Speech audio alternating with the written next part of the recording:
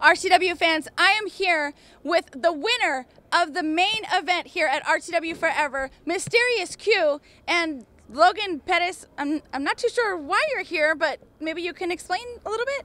Well, of course I can explain. I'm doing exactly what I do best, and that's lead my man to victory. Once again, Mysterious Q walking out of RCW as the RCW heavyweight champion, like anybody thought that wasn't going to happen, especially against indie outlaw mud show wrestler Luigi Primo. Good grief, Brandon Oliver. You ought to be ashamed of yourself booking this guy, but as it's been said, you're the only guy that could book a guy to get under instead of over.